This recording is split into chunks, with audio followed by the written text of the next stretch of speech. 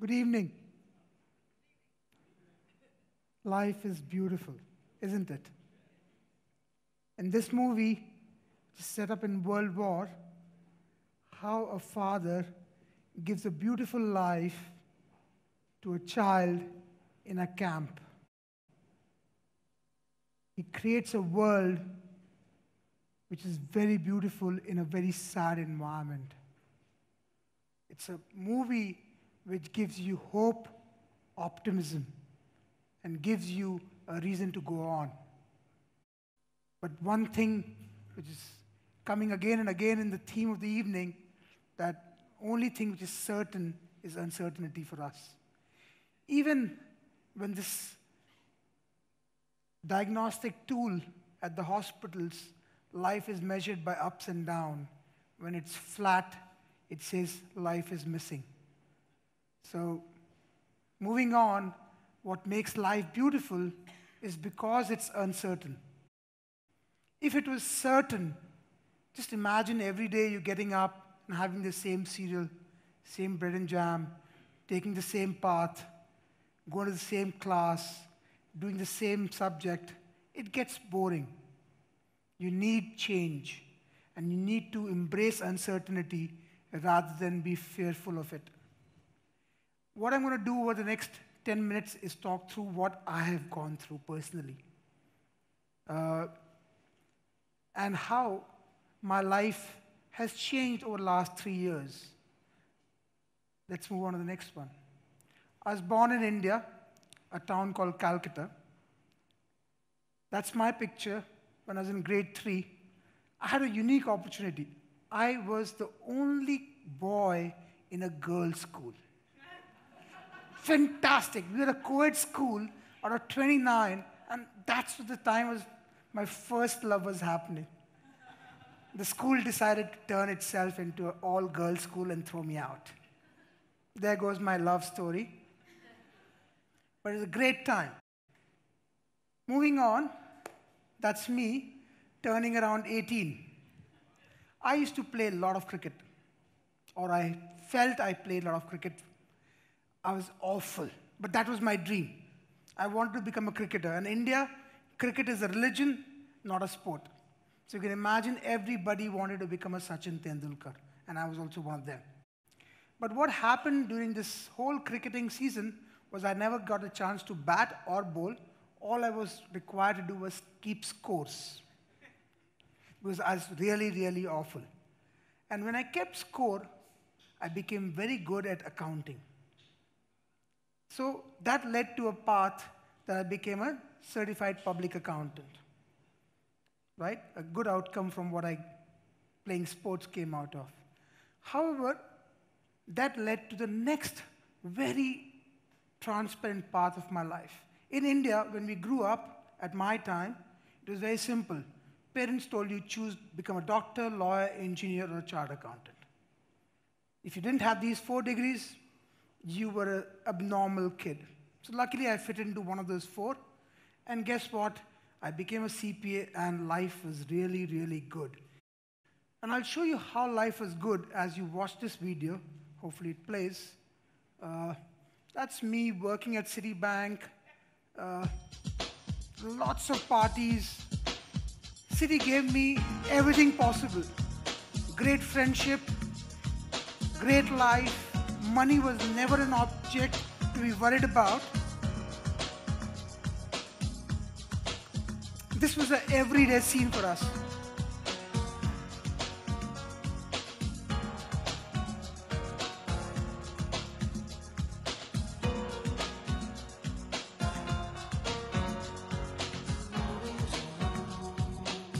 I think we'll stop. We can pause it, yes.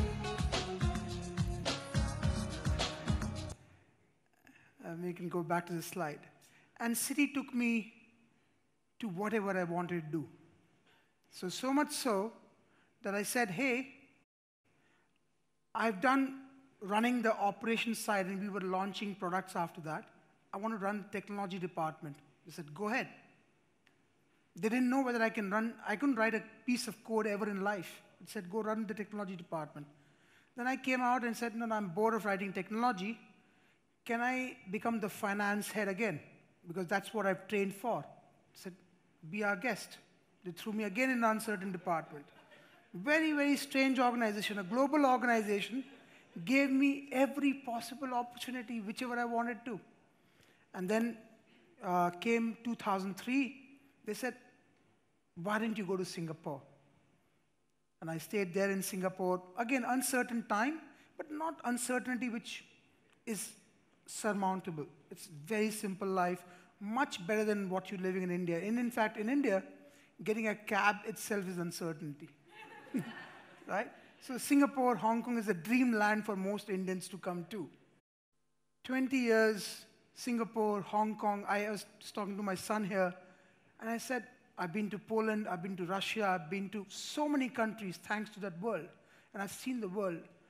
And 20 years later in the company, I could have literally be on the top and enjoyed under the shadows of my hard work of last 20 years and lived the next 10 years. But this saying which goes in the corporate world, died at 40, buried at 70. Right? A lot of people do that because they lose their passion, they lose the purpose of life, they lose, they just come to work every day to just manage that nine to five chore and go back to something they love. In fact, we used to call some people weekend warriors. They were full of life on Saturday, Sunday, and they were dead on Monday to Friday. right? Uh, while this was happening, I would love you to watch this video. This is what happened to me. Please play this. Please watch this fully. It's a story about an amputee, how she took her life in her own hands and climbed Mount Everest. This is what I was going through school, college, job.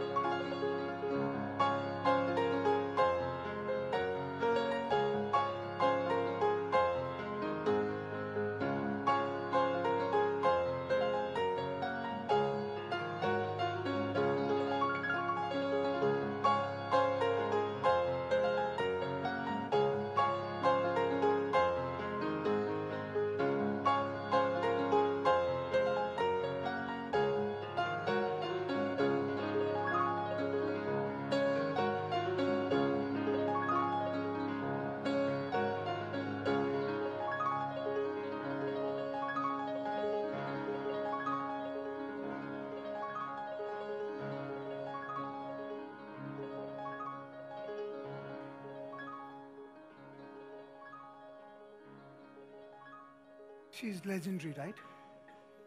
49 trains over her leg overnight. Fought for a cause which was not hers because somebody else was troubling somebody else in the train.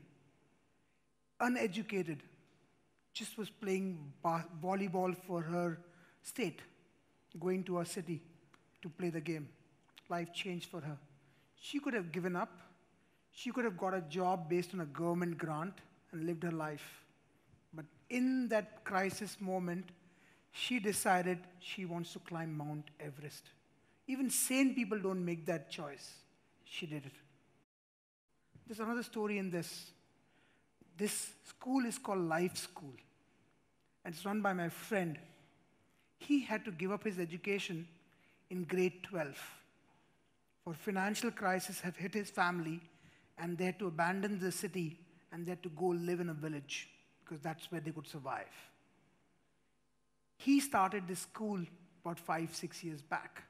Completely after grade 12, he was working as a laborer in camps in India. And from there, today he runs a very successful school. And he says, our system, school system, don't teach us how to live life. It teaches how to do solve statistical problem, how to run economics books, how to reach philosophy, but doesn't tell us how to run life. Life is only taught by living a life and with adventure. So he brings these inspirational speakers and he trains people across. He's got a motto to train 10, 100,000 teachers on his own money in India today. How to train kids to live life beautifully. So, two stories in that that inspired me. I had a lot of fears because I was getting everything going for me school, college, kids, wife, good job, traveling all over the world in business class. But I was, wasn't happy. I had to change something. Boris, if you could please. And that's where I left my job and I said, I'm going to do a startup. And that startup is called Monexo. It's two and a half year old company in Hong Kong full of challenges. Boris was with me, he's faced some of them. Uh, it's a, when you talk about financial services and a startup, you have to talk about regulators. It's not a cheap startup you can do. It's not like an app which you can build and sell it on 99 cents on WhatsApp, uh, on, on Apple Store. Or, you have to look at a lot of regulations and do it. So it costs a lot of money. So I literally spent all my life saving building this company. I have a son who's going to go to college. I don't know whether I'm going to be able to pay that. But we embraced it. We said, and he's been very supportive. Two and a half years now, we have paying customers. We've grown from Hong Kong to India. We have two markets which we are working now. It hasn't been a, a, a smooth sailing journey. And in that time, I came through a term called VUCA. It's a military term which is going to happen to all of us, whether it's life or anywhere else. It stands for volatile, uncertain, complex, and ambiguous. Because when you're in war, that's what happens to every military guy on the field. He can't run back and ask, What should I do? He has to make that decision under that volatile, ambiguous, complex, and uncertain situations. And that's what business is all about. But what has kept me going is these three things which has come to me. And I've distilled that, my learning, in the next three slides. If you could. Do what you love, love what you do. It's a long journey. When I joined the bank, my seniors would tell me, Mukesh, slow down. It's running a marathon. You're going to be working for 40 years, so don't try and finish everything today. But they also told me that love what you do. And I've been telling myself, I've been only able to survive this two and a half journey because I love what I do. Every time I meet a customer who tells me that this, my service is helping them do something more, it is simpler than going to a bank, it is faster than what I created at the bank, just gives me the motivation to keep doing it again and again. Next one. Well, every day in a household, milks are spilt. Uh, and then how you react to it changes your day. People go into out of the house with that spilt milk in mind, kids yelled at, and then they get into road rage, right? Or they come to school and kids ask, right? where did that teacher get out of the bed from, right? right? It all happens. But don't worry. Deal with it calmly. Things will always be not in your control. And that's what I have learned. In my business, I can only control this much. The unexpected is much more than I can imagine. Every morning is a new day for me and very different. While the business keeps running, I'm thrown with new challenges every day. And I don't necessarily react to it anymore. I take the facts in and move on. Again, people have talked about stretching yourself. It's, it need not be climbing Mount Everest. Whatever it is, whether you want to sing a song, whether you want to learn a piano, do it now. They say, one day or today, right? Just make that happen. And I've, I've, I've, I love to say myself, and I've said that to everybody in my team get comfortable being uncomfortable.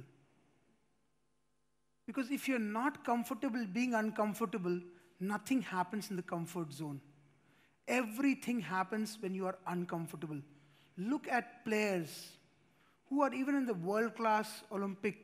When they go to the, the pool, they go and play the game, it's an uncomfortable moment, even though they've been training for a long time.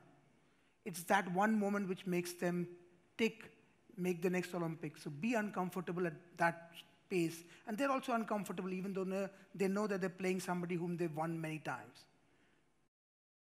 The last one, you will fail. You will fail many times. It's just like riding a bicycle. You will fail many times in your journey. But get up, again get on the bicycle and ride. You will get where you are because what you are saying is, I love what I'm doing. I'm passionate about doing what I like to do, and I'm going to move forward. So, with this, all I will say is go ahead and conquer your own Mount Everest, whatever it is. Continue to find happiness in what you're doing. Again, a great movie. Uh, how this gentleman, in fact, there's a scene in this movie where this gentleman sees a car pull out and he goes across to the gentleman and says, Tell me what you do and how do you, what kind of money you make.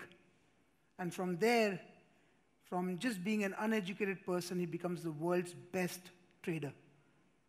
So, again, I wish everybody happiness. Continue pursuing your path, be passionate, and you'll get there. Thank you very much.